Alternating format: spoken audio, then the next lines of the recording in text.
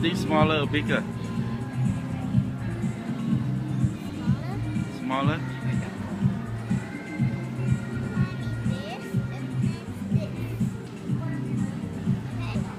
Like that?